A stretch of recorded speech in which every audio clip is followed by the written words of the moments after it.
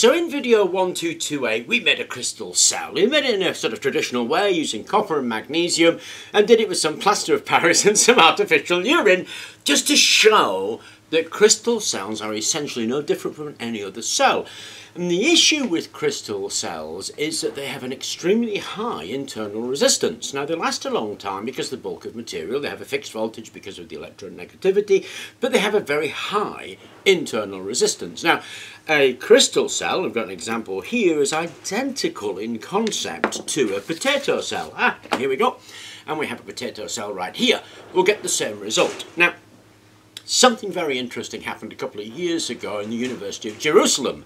The university did some studies on this because what this actually does and what this does and what a lemon does is forms a salt bridge so electronegativity can take over and a reaction can happen.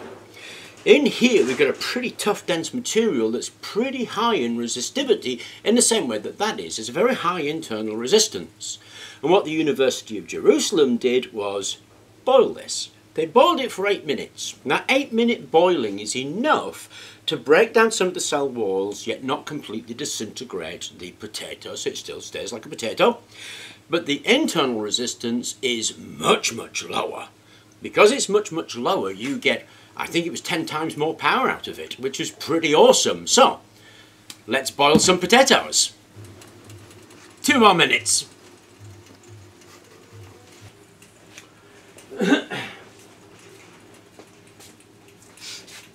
So here's the non-boiled potato and it's got a voltage of 1.372 volts on it and it is just barely lighting that LED. Now to be absolutely clear, the potato contributes nothing to the reaction or to the battery.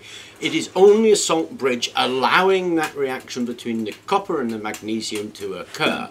The battery will last as long as the magnesium lasts. When that magnesium is gone, the battery will die. You could of course put more magnesium in there, but really to be absolutely 100% clear, the potato adds nothing.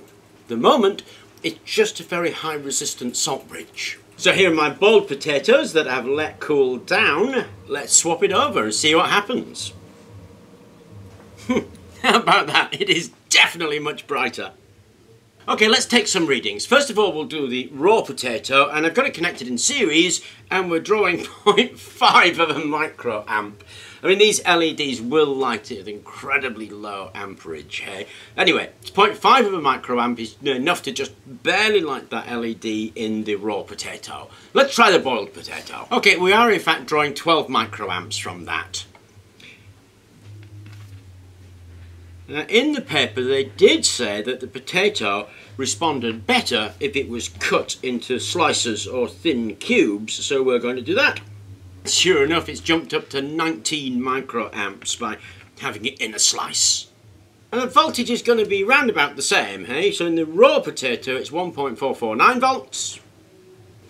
And in the boiled potato, 1.57. So there is a slightly better voltage, but a much better power draw and that is because the boiling breaks down the skin of the cells in the potatoes, reduces the resistance of the salt bridge and so the voltage goes up a little bit because it's not got a voltage drop through that resistance and we're able to get so much more power out of it. I mean I know we're talking about the difference between half a microamp and 12 microamps but that is 24 times more power that the thing is giving out.